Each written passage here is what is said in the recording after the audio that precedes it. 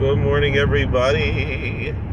It is today is the tenth of Elul, which is the yahrzeit of Rav Pinchas Koritzer.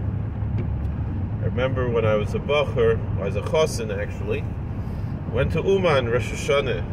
It was 2006, and uh, and on the way back from Uman, erev Rosh Hashanah, we went to to uh, Mezhbush and, and were by the Baal Shem Tov Kaddish, and the other tzaddikim, the Mezhbush, Rebarachel, and and the and the uh, the Degel, and, and, and, the other tzaddikim that are buried there in Mezhbush. And we were also in Berditchev, and there's the whole story about the Berditchevers kever that came out last year. Um, so uh, then uh, we're in Uman Rosh Hashanah, and then on the way back, we went to Polnoi, went to Shvetivka. And in Shvetivka is buried the Pinchas Koritzer.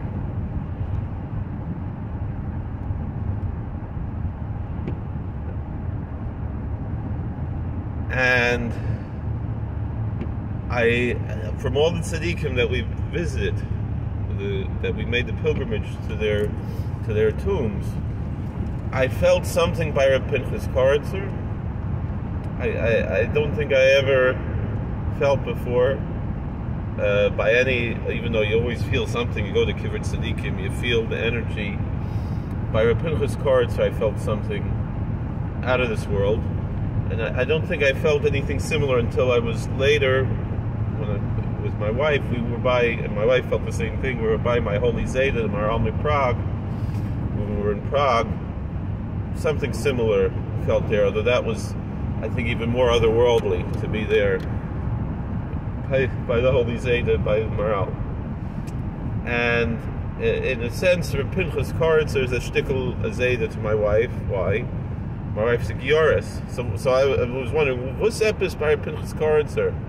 You know, I, I learned Kedushas Levi so much, should have felt by the Berditchever, and I found out later that my ancestors had some shaykhs to the Berditchever uh, the, the, the, my, my holy Zayda, the, the Kruger Rav, had some kind of a shaykhis, and, and uh, certainly the Rebbitzin and, and, the children, one of his sons, brother-in-law to, to, to, to, my elder Zayda, brother to my elder elder Baba, the Chenga Rav, Rebbitzin's brother, was was was Chenga Rebbe, and he was a, a chos of the Berditchever uh, Chenga Rebbe before before the Menuchas Asher, Rabbi Yonis Ben Yamin Ostreicher was was uh, a great great uncle, and uh, I think also Shtikl Zayda somewhere along the line. I don't remember, but so I had such a shaykhis to to the Berditchever, and and I always was learning Kedushas Levi, and such a shaykhis to to Rabbi Nachman, to everything.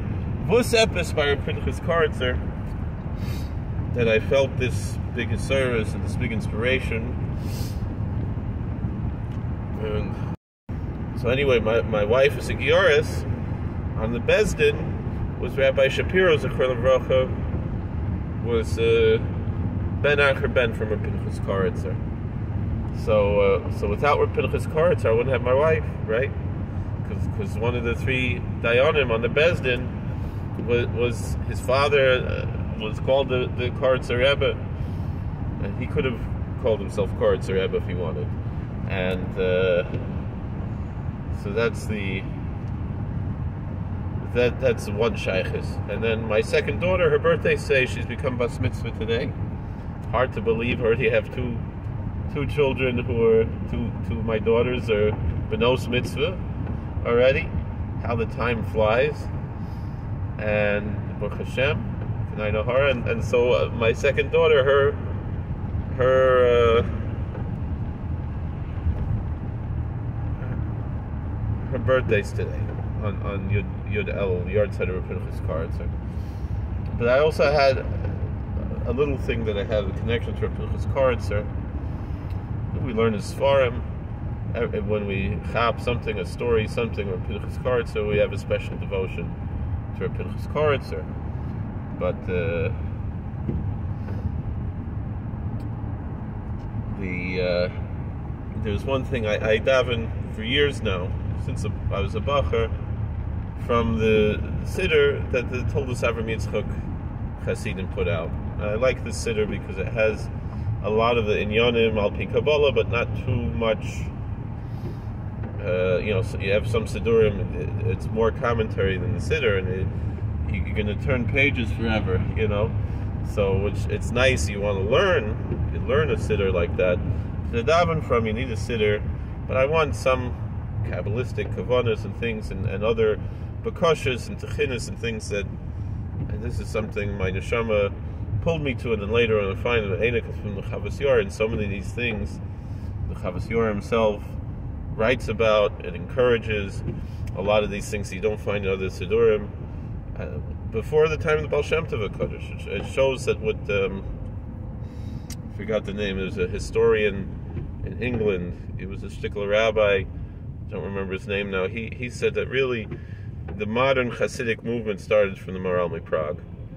You know, it, it got expanded really by from the Baal Shem Tov and from the from the Magid, but it was really uh, the idea to be a chassid like that came from Maharal Prague, my Zayda, my holy Zayda, and of course the, the Chavas Yor was an anical from Maharal, and he was very much devoted to that approach uh, in Germany in those days in the 1600s.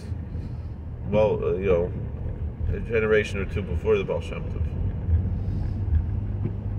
But anyway, Rapinchas Koritzer was a, a Talmid of Baal Shem Tov.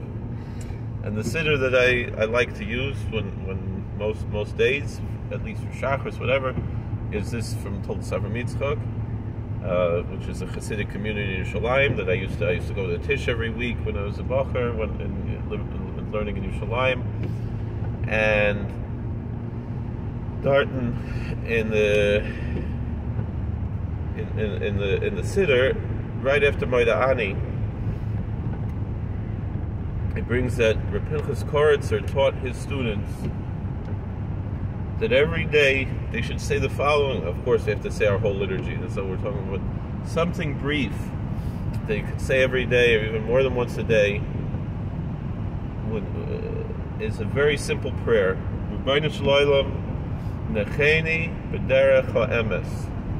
So six words. Shalom, Master of the universe. God. You know, Rabbi Nachman always said that that should be used kind of how in the East they have mantras.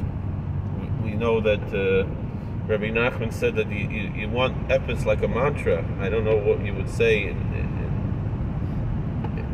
Lashon Kodesh to describe such a thing, just a term that you, you repeat over and over again Bali Musar had the same approach.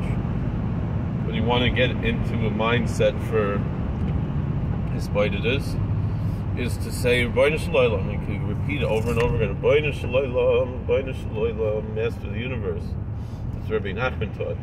So, but but uh, so so but Rapinchas Koritzer, he said that he told his Talmidim they should say the following prayer: Rabbeinu Shalom Necheni B'derech o. Master of the universe, guide me in the path of truth. Necheni, maybe it's not exactly guide. It's almost like, again, I don't mean to use these Eastern terms because it's a, it's a different religion. It's not ours, but sometimes the descriptions are better expressed. Just like there's certain things you can only really express in Yiddish and you try to say it in English, it doesn't come out. And the other, the other way too, sometimes the concepts that come out of the Eastern religious traditions um, are apt. And I know Rabbi Bart Sadok, goes inside, he, he uses this. So, like, Nechene means to kind of allow me to follow the path of truth. It's, it, it's, it's in a sense, it's it's almost like I, again I don't want to use from other religions, but like the the idea of the Tao being the way, being and and that it's a path of least resistance.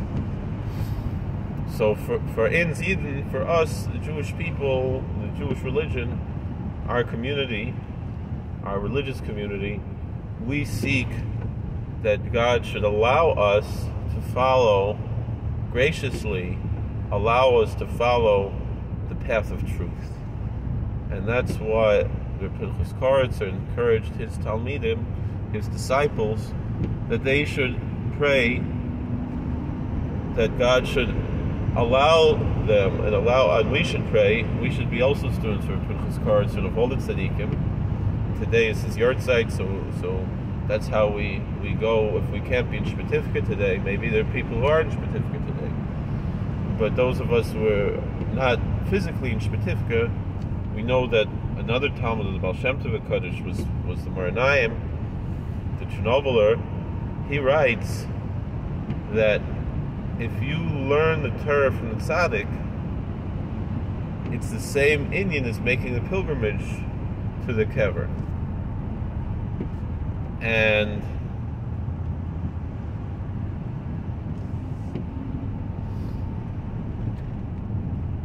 and actually the Satmarov says that if you make the physical pilgrimage, but you don't make that that spiritual pilgrimage of learning their Torah, it, it doesn't really count very much according to Satmarov.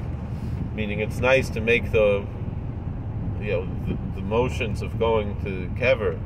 Well, Satmarov was not a big fan of, of going to Kvarim. There are very few Kvarim that he really um, made an inyan to go to. One was Rabbi Zakaliver, and, and you know I'm a, I'm a, I'm a chassid of, of Shlita, people know, and that's my Rebbe. I'm not going to say Makalav Chassid necessarily, but Chassid Makalav Rebbe. It's the way I express it. And then uh, I try to be. I, I, know I don't live up to it. Kalav Rebbe is Mamish inside a Kedar. The Rebbe in Williamsburg. Um, and, and, and we, we published his book that I translated. You can get on, on all the websites, uh, only with Amuna. But anyway, the uh, and we we give out the Every week. You can sign up for free. The emails go to the website. You can sign up for the emails, both in Hebrew uh, weekly and uh, which is much more Hebrew and a little bit Yiddish, and the English once a week. I don't know if we're going to have time tomorrow because we're going away on vacation. Uh, maybe, maybe the, the Rebbe Zainikel, said maybe he'll send today. We'll try. But anyway, what's the point when I'm saying this? Oh, you, you learn the Torah from the Tzaddik. It's the same inyan like you going to his kever, and, and, and, and, even if you go to the kever and you don't, well, that's why I said because Satmarov would go to Rabbi Zakaliver, I think he'd go to the Sons of Rav, and he went to Meron, and that's about it. He, even in America, he told people, you, you're looking for where to go. He said to go to Rav Koilel. Heard such a thing, and I, when I was hit by the Rav Koilel a few weeks ago, uh, interesting. Over was over there by Rav Koilel. Also, I was by Rabbi Shapiro. Was by by the rabbi who made my wife was on the Besdin together with with Rabbi Steinberg. Zolka Zunsein Batel Chaim Tovim. Uh, Rav Steinberg Shlita. Uh, we. Um,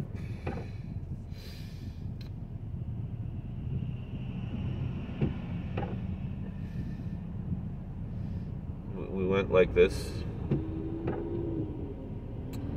So that's a shot. Anyway, we when we learn the turf the tzaddik, that's really the the bigger inyan than actually going and visiting. Uh, and so this this shtickle Torah, there are a lot of Torahs from Pinchas Karas, there's a say from Midrash Pinchas, there's a collection of his of his teachings. Uh, I remember one thing. It's brought from Pinchas Karas. There's an inyan. It's raining now, but it's not Sphira. During Sphira, between Passover and Pentecost, between Pesach and Shavuos, the rain it has a healing quality. A lot of other teachings like that that Pinchas Karas are brought down from the Svarma. Anyway, I have to learn. That's the teaching that I have to share from you share with you from a Pinchas Koritzer today in his yahrzeit is that he taught his students to pray to God, to that God should uh, graciously allow them, guide them, so stick them both, It's, it's somewhere between guiding and allowing, and it's really the same thing if you really understand what that means. B'derech emes, in the way of truth. I, I'll tell you a story about that before we finish. I remember there was a Rahman al a lot of people, you know, pick on Asher Meza.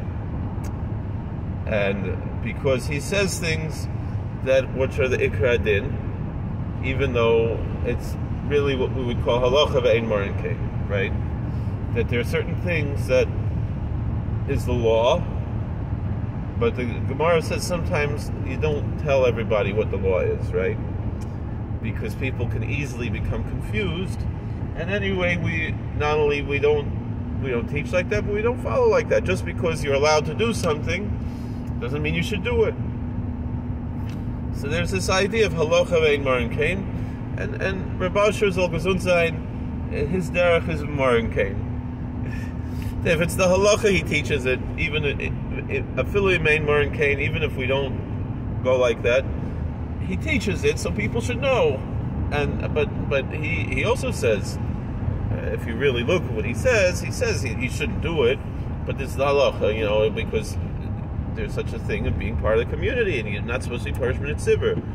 So he, he doesn't teach to be punishment at sivir. He teaches that this is halacha, but but you have to be part of the tzibur, so so we don't, so we, we might be more strict in this area, or that area, right?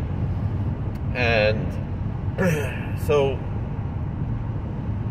one of these things that people know that he talks about is that what do you do? You have somebody, and Ralph Dror is saying the same, a similar thing in the video we talked about yesterday.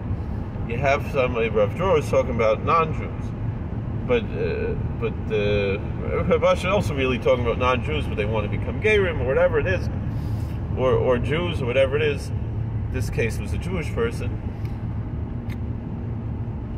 What is the halacha if you have somebody, right, who believes does not believe that a certain false Messiah is God? They don't worship him. They don't pray to him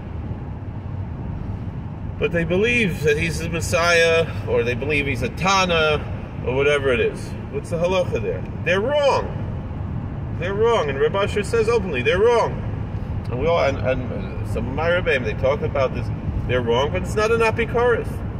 If they believe now, Reb Asher, he he he, he claws and tinus that maybe it's also uh, you go a little further, and some of the Lubavitchers also go a little further in the same way atzmas beguf and this and that, that that's uh, uh, maybe it's also not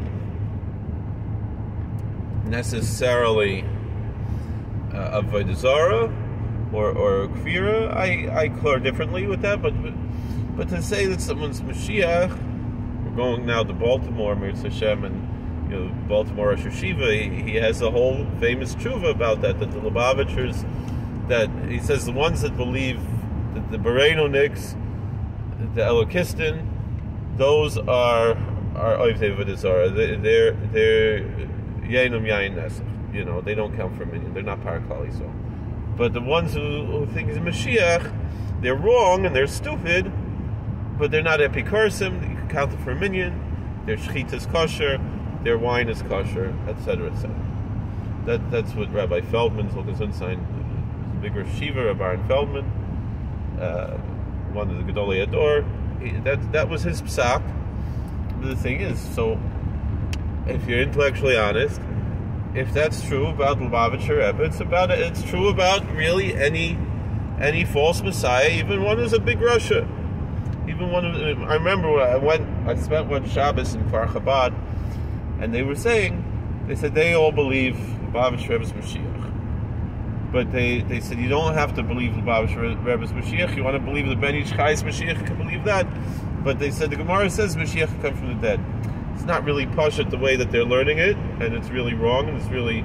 And the thing is, is like Rav Aaron Feldman points out, he says if if Hashem's already going to do a miracle of bringing Mashiach from the dead, so it would be David Melech or Moshe Rabbeinu. Why should it be somebody from the 1990s? You know? So, um, so that's really the answer there with that. But anyway, um, so, but I remember, so they said, what about Oiseish? They said, well, Oiseish was a Russian. Uh, that, you know who? He was, he was a wicked person and so therefore that's why he's not Mashiach, not because not because the idea of Mashiach coming from the dead is a foreign idea, but because that particular person was, was an evil person.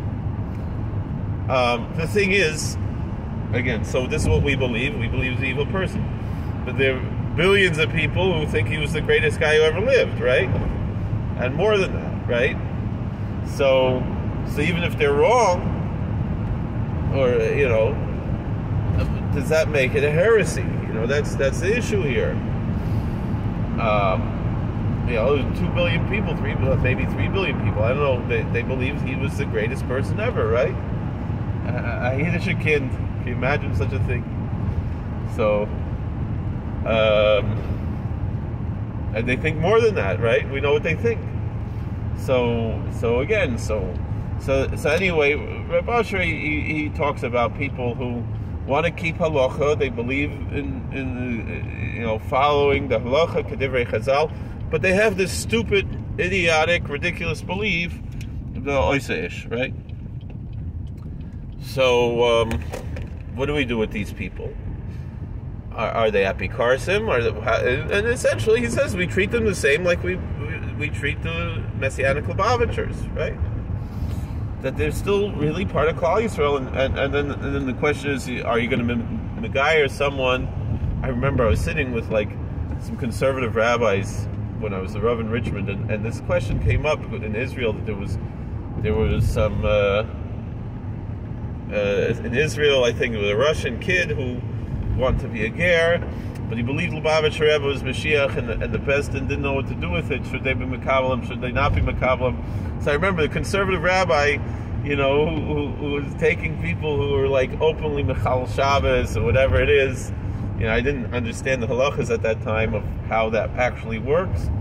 Uh, he said he wouldn't he, he wouldn't be Makabal a. This is a guy who's probably been Makabal thousands of gerim he wouldn't be Makabal Ager who believes that that uh, Lubavitch Rebbe is Mashiach. Okay, he's a mandamar, right? He's a, he's an older person. He's a respectable person. Uh, Sherman Ter mitzvahs. He learned in JTS, and he was a rabbi in conservative shul. You know, so not an apikoros, a guy who follows Shulchan Aruch, you know, he knows Shulchan Aruch, knows Gemara, you know, Shomer Shabbos. Anyway, uh, Shabbos, Kashrus, Taras Mishpacha, everything. Anyway, I remember I was in his house once and he had a nice Shulchan Aruch there, you know, whatever. So anyway, uh, so this is El Bazach. You have to ask yourself. So if, if you good, it, it, you have to be consistent. If if you're not going to be Makabal Ager who believes Lubavitch Rebbe's Mashiach, you're also not going to be Makabal Ager who wants to follow all the halachas but, and, and, and doesn't worship Isaiah but thinks he's a, he's a Mashiach right? And if you and if if you're not going to be makabel, you're not going to be makabel. If you are going to be makabel, you, to a certain extent, it makes sense to be makabel the other way, but maybe yes, maybe no, and that's the. Uh, uh, uh, and again, but Maker Adin, you know, it's such a year chal. That's really the question, and the answer is yes, mistama, because it's not apikourses, it's not chutz midover it's not you know, it's not over one of the Gimel It's just it's just a shtus without being apikourses anyway. It's it's something that's stupid, but it's not necessarily heretical. But it's stupid and it's wrong and it, and it should be avoided. And, and maybe there's a danger that it could lead to heresy because of the connections to heresy like that. And that would probably be the reason why it's wise not to be makabel such a gear, not to accept such a convert. Anyway, so again, in general, when when my friend Reb Asher, he talks about these things usually, generally he's talking theoretically and not necessarily uh, practically. There's there's such a thing halacha that's ikar din and halacha lamaisa, but sometimes the ikar din is the lamaisa. You know, the, and we could talk about that another time. The reason I'm telling the story is it's connected to this. So Rav Asher, I remember he, he pointed me to this guy might be watching the video now, and I don't mean to embarrass him, but it's a, it's a beautiful story. So pointed me to Ayid, born Jewish, mother is Jewish. I think both his parents were Jewish. Um, maybe you know nowadays you go online, you can learn everything by yourself. But epis feltach, you know, the truth is, you're only going to really be integrated into a community by really living in a community. Ideally, uh, a, a, a, boy, a man, should learn yeshiva or koil or something to really be integrated to the community, and a woman should even probably go to some kind of seminary or something. Uh, they have that's what they call the girls' schools, you know, after a certain age. But, or at least, you know, if, if, if you know that that's the the way that that, that goes. So, uh, but but nowadays with internet, people they, they just learn everything online, and you can still kind of tell somebody who really never was part of the community. Uh, you know, and, and, and, but anyway, you have someone he's born Jewish, and, he, and this is what happens, and then he learns online. But then also, he gets confused because he doesn't have any hadrocha, right? Doesn't have any guidance. He doesn't have any, right? So there was a guy. I'm not going to give any other identifiers, but he was. This was when I was first Rav in Richmond. The guy didn't live in Richmond. He lived far away from Richmond, somewhere else in the United States. I, I, I spoke to him recently online. I hadn't spoken to him in over ten years, whatever.